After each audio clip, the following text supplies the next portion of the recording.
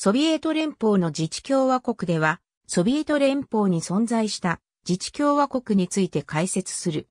ソ連の自治共和国は、立場的にはソビエト連邦構成共和国よりも低いものとされており、自治州や自治管区よりは強い権限を持っていた。例えば、ロシアソビエト連邦社会主義共和国においては、自治ソビエト社会主義共和国の政府議長は、ロシア SFSR 政府の公式な一員であった。また、それぞれ主な構成国の自治共和国という立場にされていたが、連邦と個別の条約を結んでおり、実際には連邦の直轄地のような扱いで統治されていた。1936年以降、すべての自治共和国は自治ソビエト社会主義共和国の名前が付くようになった。自治ソビエト社会主義共和国はロシア語では、英語では、オートノマスソビエトソシアリストリパブリックであり、それぞれアスアと略される。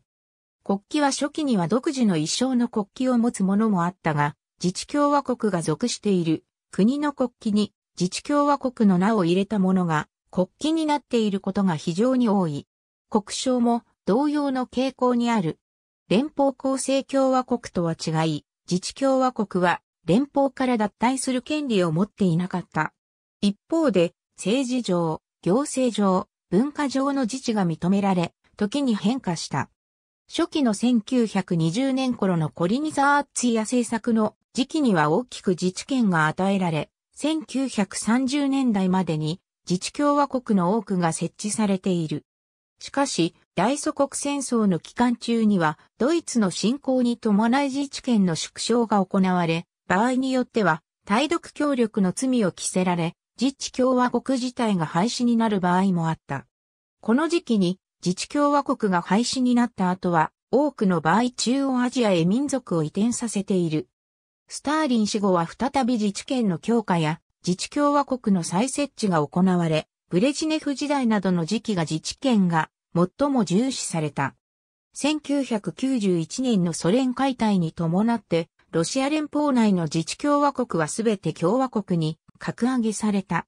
また、自治州も残っていた5つの自治州のうちゴルのアルタイ自治州とカラチャイチェルケス自治州は、アスアを経て共和国になった。一方、ウクライナ内のクリミアやグルジアのアブハジア、アジャリアは紛争の種になった。アブハジアは現在事実上独立している。ロシア SFSR の旗1987年の時点では以下の16の自治共和国が存在していた。それ以前には以下のような自治共和国が存在したまたゴルのアルタイ自治州、アディゲ自治州、ハカス自治州、カラチャイチェルケス自治州は1991年にアスアに昇格し、それぞれ現在のアルタイ共和国、アディゲ共和国、ハカス共和国、カラチャイチェルケス共和国に昇格している。ウクライナ SSR の旗アゼルバイジャン SSR の旗グルジア SSR の旗ウズベク SSR の旗。ありがとうございます。